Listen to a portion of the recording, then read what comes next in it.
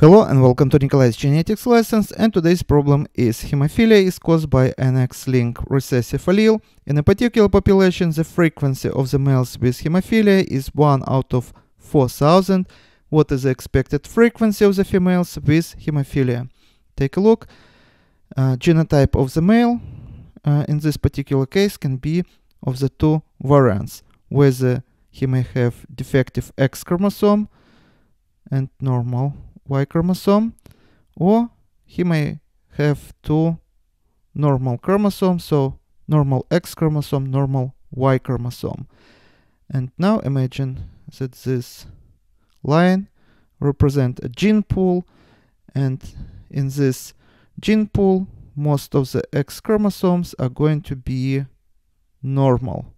So are not going to have any mutations and in very rare cases we can see that one of the X chromosomes and particular frequency 1 out of 4000 would be defective. That gives us information that probability for this male to inherit this defective allele or defective chromosome uh, or chromosome with defective allele on it is going to be 1 out of 4000. So if we know that the frequency of the males who are affected with this genetic disorder is 1 out of 4000, this also gives us information that frequency of this allele in this population is 1 out of 4000.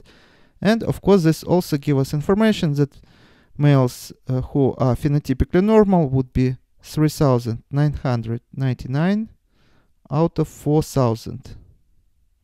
As for the females, the picture is going to be different because we call males hemizygous because males has only one X chromosome but females has two X chromosomes and different rules apply to these calculations.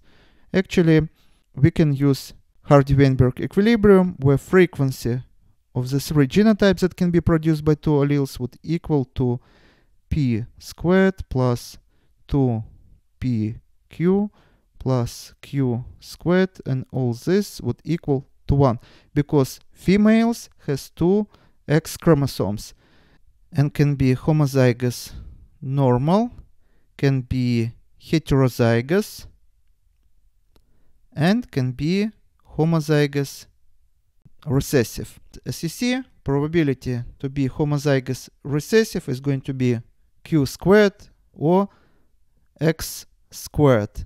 Basically, probability for female to belong to this genotype is going to be a product of the probability that uh, each X chromosome would be uh, defected. So it's going to be 1 out of 4000 for the first chromosome, X chromosome to, to have this mutation and for the second also is going to be 1 out of 4000 and the answer is going to be 1 out of 16 million. Now compare this number with frequency of this genetic disorder in men. And this is all for today, thank you for attention, please subscribe for my new videos that I post almost every day, and see you in the next video, goodbye.